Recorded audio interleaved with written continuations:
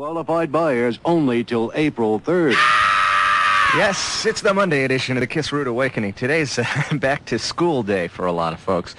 Kind of a grisly day, you know. It's the kind of day you've been dreading for a week now, isn't it? Yeah, and here we are back uh, back at the Radio Ranch also. By the way, the tape is rolling. This is the Kiss Rude Awakening. We're 99.5 Kiss, the home of rock and roll in San Antonio. The tape you're referring to, you want to tell everybody what we're doing. Okay, let's do it like this. Uh, I'll let somebody else tell you. Last week, uh, Gene Elder, the guest curator of the San Antonio Museum of Art, made this announcement on Kiss FM. It's pretty uh, kind of a, a momentous announcement. Well, what he did is he said that uh, we would be included in a time capsule. So we have having an, another tape problem, which will clear up. Right now, this this It's a program hell of a way to start. Yeah, I'm a little embarrassed right now. Uh, the program's being recorded to be included in the time capsule that's going to be opened in the year 2181.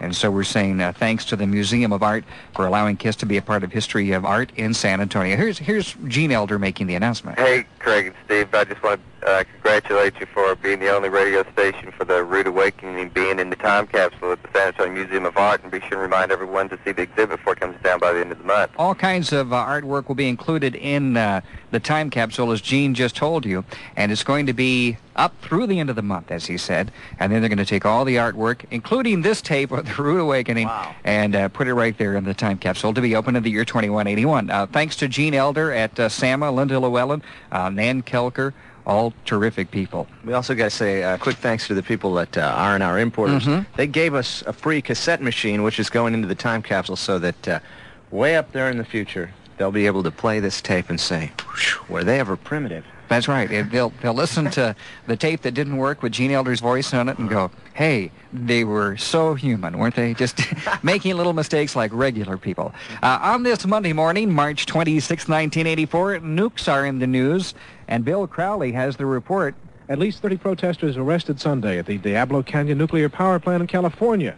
They hauled a 10-foot replica of the reactor to the gate of the plant with seven protesters locked inside. Police wouldn't take the Trojan horse inside, but they had to dismantle it to get the protesters out. Hundreds of demonstrators cheered, suggesting the real Diablo Canyon also be taken apart. The plant's owners are expected to get permission today to start low-power testing. By the way, folks here in Texas in the year 1984 are worried about nukes. But Steve North says another energy source is causing Texans to have some sleepless nights. Residents of Hereford, Texas are thumbing their noses at plans to build an electrical plant that'll be powered by manure. Officials say the manure stockpiles will be dry and odorless, but Monty Adams is not convinced. You've got 41 people that live within a half a mile of the plant site.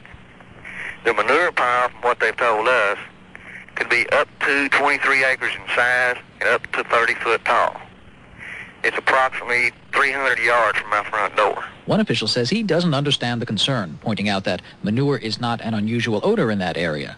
In any case, residents will get to air their concerns at a meeting tomorrow night. Okay. Steve North from the source. Okay, so so they have a few cows around. That doesn't mean they want to put 23 acres of manure in their front yard. Well, I'll tell you what, uh, something else. If we could just power this country off the hot air from campaign promises, huh? Ah. Well, Gary Hart's campaigning in Connecticut on the day before the state's presidential primary. I guess this will all be history in the year 2181. Uh, Hart's hoping to make a sweep of the New England political contest. Now, Jesse Jackson and Walter Mondale looking for support, of course. 52 delegates uh, to be selected in those races. Kiss Sports Shorts. Uh, tomorrow, the San Antonio Spurs will host the Golden State Warriors.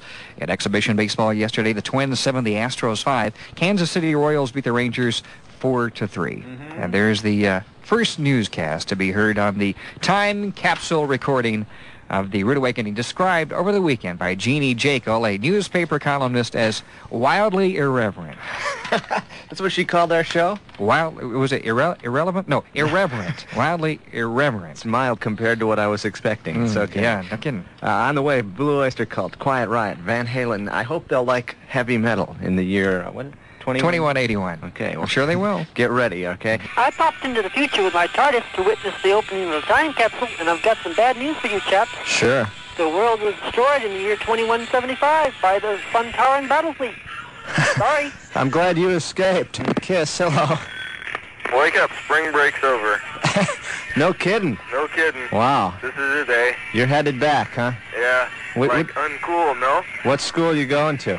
Like the great San Antonio College on North Main. Oh, uh, wow. like heavy education. I mean, like they throw just metal flakes of education into your brain. They pump it in magnetically. It's really cosmic. It sounds kind. It sounds kind of easy. uh, yeah, it's, it's kind of like playing like a vacuum cleaner and going around sucking it all up. And uh, the girls really enjoy it when I uh, just going around sucking it up. So I enjoy it too. hey, have a wonderful week at school. Well, hey, like I hate Mondays. Do you, For sure. do you like have the, the tune I'm thinking of? Yeah, I got it right here. Well, hey, it sounds pretty rude to me, doesn't it?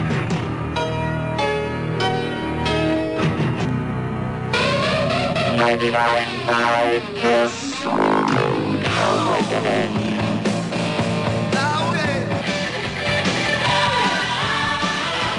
five Kiss in the year 1984. This is the one that out rocks the rest. Tonight at 10:30, you can talk to this guy live on the Kiss Rock line.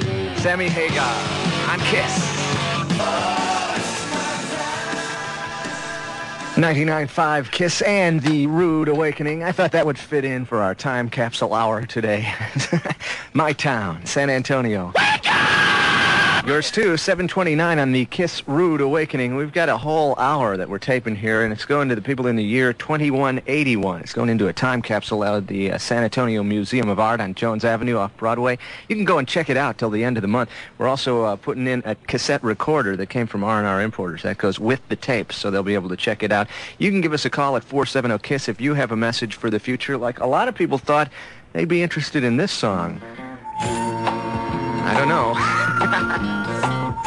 Here's Fred Blassie on Kiss Comic Relief. Back when I was a kid, life was going swell.